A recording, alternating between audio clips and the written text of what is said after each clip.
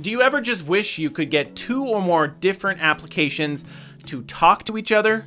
Perhaps you would like to have a task from a template show up in ClickUp when someone scheduled your time from Calendly.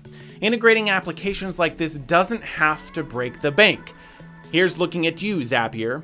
Today, I want to introduce a Zapier alternative that's free to use. It can easily sync data between 90 plus apps with no coding. But if you're into coding your own custom solutions, it's easy to extend with custom functions and logic with minimal engineering effort. Let's talk about Nodemation.io.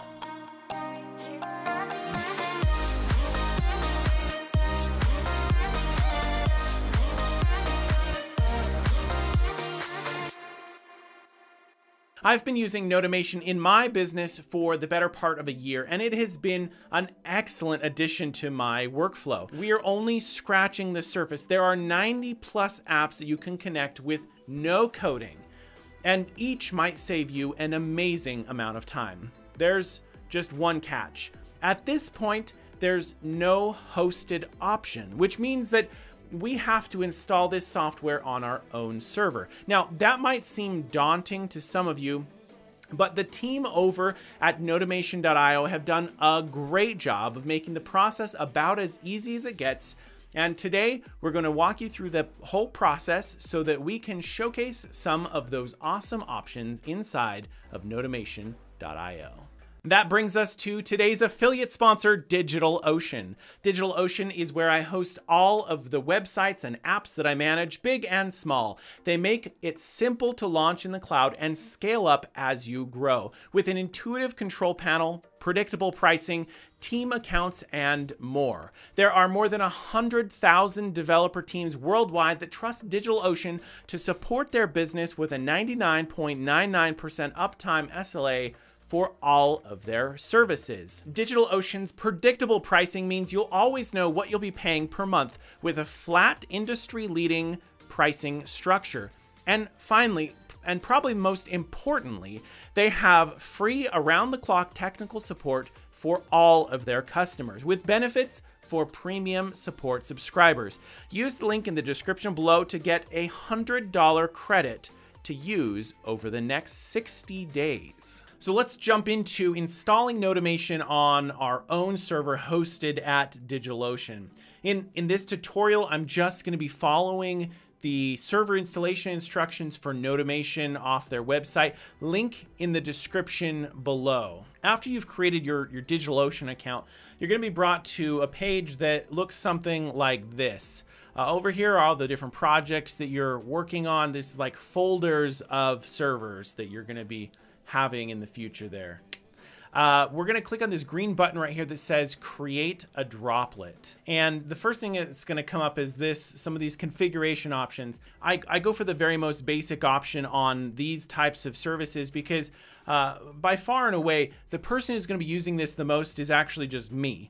And so if there's only one person hitting this, or maybe it's just your team that's that's hitting this, um, you don't need a whole lot of, of server juice to, to make this happen. Next, uh, pick a data center region that's close to you.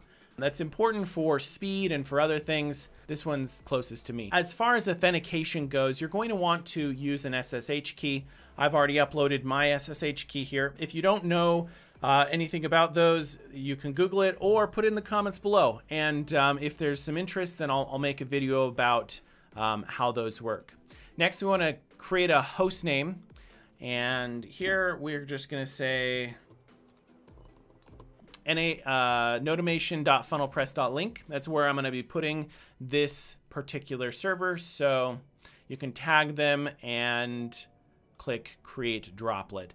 That's going to get uh, that's going to get the process rolling for actually having a server set up. And here in just a minute, we're going to go through and set up the DNS for this droplet so that it can be available on the internet. Now that this is finished, what we're gonna do is just click on this and it's gonna copy the, the IP address for this droplet and we're gonna be able to jump over to Cloudflare. Now, I use Cloudflare as my DNS provider. Wherever you have your domain name hosted, they're going to have a DNS service.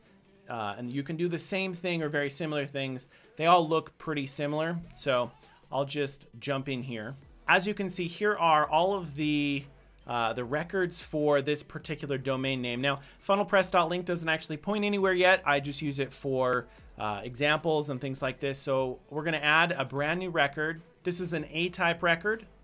Um, and the we're going to do N8N, and then over here we're going to paste the IP address from uh, DigitalOcean that we just did. And then I'm going to turn this off. Um, this is not important for what we're working on. And there you have it. The DNS is set up for connecting our DigitalOcean droplet to the domain name n8n.funnelpress.link. The next thing that we're going to be working on is setting up and configuring the server from the command line. There's no graphical user interface for any of these servers, so you do have to jump in there, but uh, Nodemation has done a great job of giving all of the instructions, and we're going to go through all of them right here right after we open up our terminal. And um, you can do that by using the Spotlight Search terminal uh, right there. You can do that. You can also jump into it from your Launchpad uh, terminal, um, or I have it here in my dock. If you're a Windows user, you're going to be using um, PuTTY. Connecting over an SSH connection is a little bit outside of the scope of what we're working on right here. So um, look up how to connect to a box through SSH if you're on Windows. Editor John here. I totally forgot that inside of DigitalOcean, you actually have a console, so you don't have to use PuTTY if you're on Windows per se, or if you don't, if you just don't want to to go that route. I find it's a little bit easier to use the the Mac terminal. It does amazing things, but if you don't want to use that, you can come in, click here on your server, and then you can select on the console option right here. That's going to open up a console for you to then log in just like you would from the terminal. Anyway, that's all I wanted to say. Thanks. Back to the tutorial. Now I'm just typing in here the SSH command for uh, remoting into this computer here. As you notice, I'm using root at uh, nan.funnelpress.link. That's the same thing I just set up in the DNS there. Now this is going to ask me uh, if I'm sure that I want to connect to this because I've never connected to it before. I'm going to type yes here so that I can jump into this computer. The first thing I like to do when I jump into a new computer is just make sure that everything has been updated so the command is apt update, and that's going to go and fetch everything and see if there's packages available to be updated. As soon as that's finished, we'll do the upgrade. So as you can see here, 149 packages can be upgraded, and we're gonna we're gonna go ahead and do that here with apt upgrade. And it's gonna ask us if we're sure we want to install all of the packages there listed. We're to say yes, we want to have everything here at the latest. Many times when I'm installing a brand new server, it'll ask me if I would like to update the this right here. This is Grub. Um, I will always go with the install the package maintainers version. And, and that's just because this is a brand new box. Um, I don't have to worry about breaking anything. So I'm, I'm good to go ahead and update. And with that, that is finished. The only other thing that I want to do that's outside of the server setup documentation is I, I like running the program as an admin user and not as the root user. And so I'm going to go through and, and create a new user. Here we have the add user command, add user John, and it's going to ask me for a new password. And so I'm just going to type in a generic password here because this is not my actual nodemation box. Uh, and then you can just uh, type whatever you want there and say that the information is correct. We want to allow this user to become an admin. So we're going to allow them sudo access. And then the last piece for uh, creating this new admin user is we're going to switch user into John and make sure that that works. And as you can see, um, without the sudo command, uh, I have permission denied. And uh, with that, I can I can list things in the root directory. So uh, now this user, John, is an admin, and we're going to use that uh, moving forward. The next step is we're going to be installing Docker. And so I'm going to just copy and paste the commands off of the server installation page. Uh, a lot of these are pretty simple. Um, they're just copy and paste. So um, that one is installing a certificate. Um, this one is, is setting a key. We're going to be adding um, a repository right here. And then we need to run one more update as we added that new repository. Again, all of the links are going to be in the description below for um, where to get all of these commands. Or you can pause the video and uh, type them in as you see them. The next thing we're going to be doing is allowing Docker to be run by my admin user. And so that's sudo user mod um, dash ag docker john. The next step is going to be installing Docker Compose. And so we're going to just copy and paste the, the command to install that one. In the server installation instructions, it then says, uh, go ahead and update your DNS to point to this new installation. We've already done that, so we're going to move on to step number five, which is creating our Docker Compose file. To do that, I'm going to change directories into the local user home folder, and I'm going to create a new file called docker-compose.yml. So I'm going to use the vim command to open that up and uh, I'm going to just copy and paste the file that they give me because we don't really need to change it too much. When using vim, I'm going to use the I key to insert text into this document, command V to paste right there. The way Docker works is it creates containers for the applications to run in. And so naturally there's not a way to get to the files from the host machine. And sometimes that's beneficial to have a folder that you can interact with that is also available in the Nodemation, depending on what your use case is. Um, to be able to map that and allow a folder to be available in both the Nodemation application and on your host machine, um, you can come in here and add a volume. That volume should look like this, um, where I've just put in my username here. And again, um, this is also in the server install instructions. So I've got that set up and I'm gonna do a escape and then W colon WQ to write the file and to quit Vim. That's going to get that finished up. The next thing we're gonna be doing is creating an environment uh, file. So to do that, we're going to do vim one more time and the .env.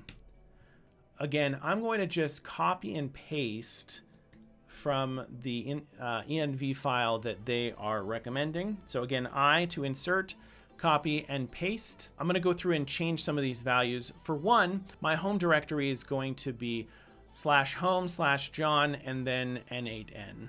The top level domain name is going to be what we set up in our DNS. That's to, for me, that's funnelpress.link.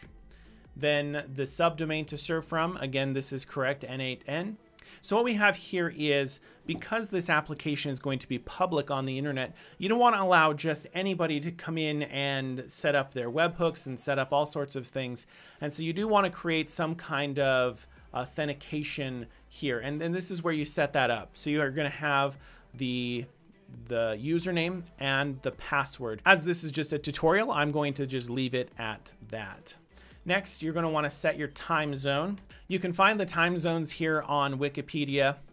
Um, a list of time, uh, TZ database time zones is going to be uh, very helpful for you to get all of the time zones.